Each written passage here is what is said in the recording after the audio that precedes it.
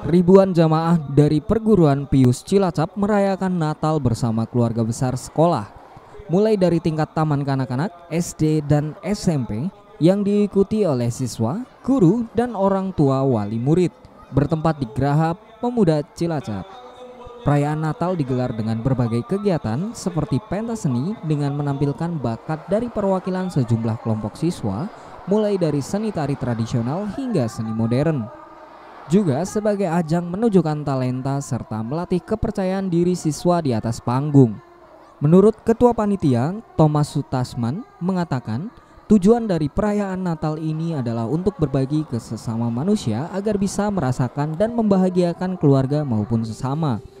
Sehingga tercipta suasana damai serta menambah erat hubungan silaturahmi antar keluarga.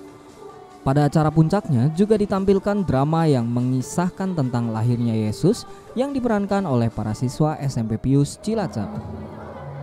Perayaan Natal di perguruan Pius ada tiga hal. Yang pertama adalah aksi Natal dengan membagikan lebih dari 450 paket sembako dan aksi Natal setiap hari Rabu dan Jumat. Setelah itu ada perayaan Natal pada hari ini untuk menampilkan bakat dan talenta anak-anak. Lalu yang terakhir adalah Natal keluarga yang diikuti oleh keluarga dari guru dan karyawan perguruan Bios Cilacap. Setiap tahun kita memang selalu ada acara untuk acara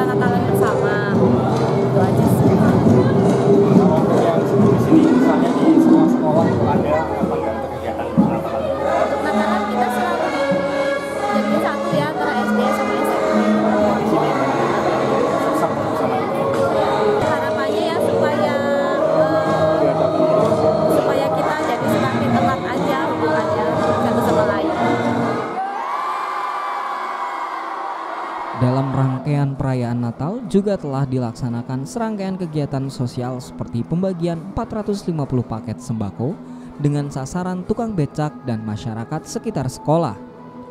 Dari Cilacap, Ulul Asmi Satelit TV mewartakan.